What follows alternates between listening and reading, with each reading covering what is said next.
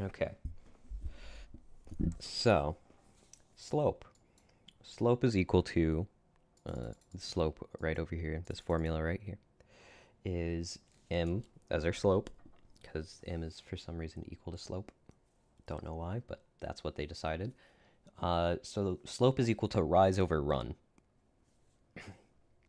so what we can think of this as is we have y, we have our second y point minus our first y point, or our first y point minus our second y point. That's what I always did, but you can do it either way. Doesn't matter. Over our run, which is how much our x changes. So basically you can think of this as our change in y over our change in x.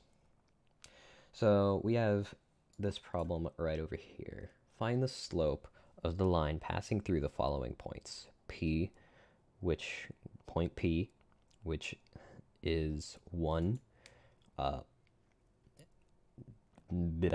y is equal, or y is equal to, hold on, x is equal to 1, and y is equal to negative 1. And then, uh, for, and then x is equal, and then point q, x is equal to negative 2, and y is equal to 5. So we're going to go ahead and open that up and we're just going to copy that down. So we've got point P is equal to 1 and then minus 1. And then we have point Q, that's another P, point Q, Q, there we go, is equal to negative 2 over, or negative 2 and 5. Okay, so, and then we're just going to also copy down this formula of y initial, well, I'm going to copy it down the way I learned it instead of what Google tells you. x first minus x second. Okay. So, what we're going to do is we're going to just plug in these numbers pretty much. So we know that our first x point is 1. It says right here. Our first point is p. So we're going to have 1.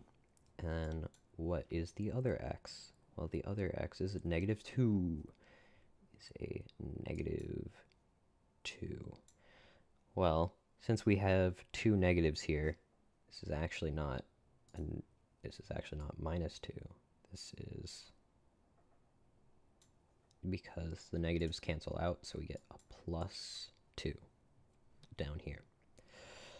And then we take our y for that point, our y for that point, and we subtract it by our y for the second point. So our second point, so y is 5. So we've got negative 1 minus 5. That's going to give us a negative 6. And then we have 1 plus 2, which is 3. So we've got that equal to negative 6 over 3, which is equal to a negative 2. So we go ahead and we check our answers. And then we've got that. We can submit that, and we get it right.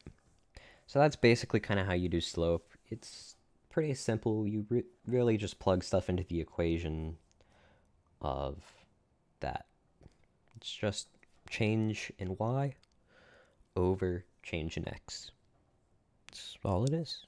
So I hope this was helpful, and good luck next time on your math test.